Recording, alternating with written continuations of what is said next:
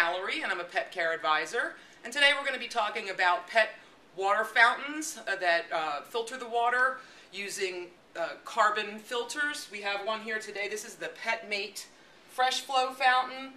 These have a, a, carbon insert that removes impurities from the water. Also, the moving water will tend to keep it cooler. Some animals are attracted to the movement of the water and it'll encourage them to drink more water.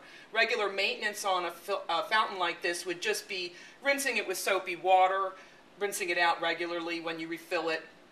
But if you're noticing that it's starting to make noise, right now you can hear it's completely quiet, but if it's starting to make weird noises, it's likely that you're going to need to address the pump that's inside.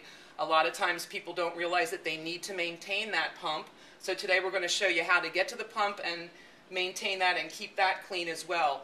If you have hard water, you're going to find that that is definitely necessary. I have hard water at my house, so about every three months I need to take the pump apart and actually soak the parts in CLR or Lime-A-Way to help remove all the calcium buildup. So let's take a look at this. This is uh, an empty water fountain. I've taken the lid off. You're going to remove the reservoir and then just grasp the pump right here and pull this top portion off. This is going to expose where the pump sits inside. You'll just take the pump out, definitely already have it unplugged, and then you're going to see this area here may have uh, pet hair buildup or food particles or whatever. So you're going to want to just gently pull that off and you'll see that if that's clogged up, rinse it. You may need a needle nose pliers to get this next piece off. If you can see, I'm going to just grasp right here and slide up this little cover. And that exposes the impeller inside. And you're just going to grasp that and pull that straight out it feels like it's a little snug because it's a magnet and it's being held magnetically inside. This is what spins around and creates all the suction that pulls the water in and up through the fountain. So what you'll want to do regularly is make sure that this surface is kept smooth and there's no calcium buildup on there.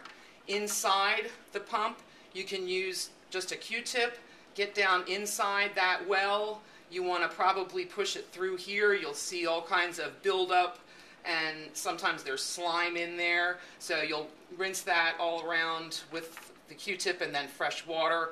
Um, rinse and rub anything off that's inside here. And then you'll just put it all back together. Put the impeller back in. Pop that cap back on. Put the strainer back on. And then there's suction cup feet. You sit those firmly down inside. And that's ready to go. Just put it back together and refill it with water. And that's all you need to do. Doing that on a regular basis will keep your motor running for years rather than having to possibly purchase another motor. Thanks.